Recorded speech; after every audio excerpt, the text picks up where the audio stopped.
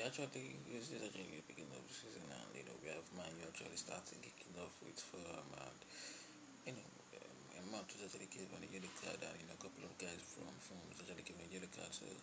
At the end of the day you know DJ Azux whatever his name was actually one that actually scored a goal and second half and was actually assisted by his teammates and you know it's so nice that you know, they're actually starting so good because you know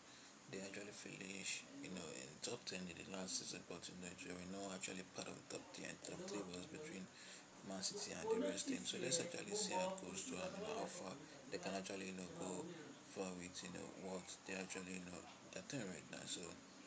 so God bless them and you know, I hope they just actually come out stronger than, you know, ever, ever since. And, you know, I guess they're actually team members that could actually, you know, better their, performances that you know make them actually you know come and go to the see how it goes though.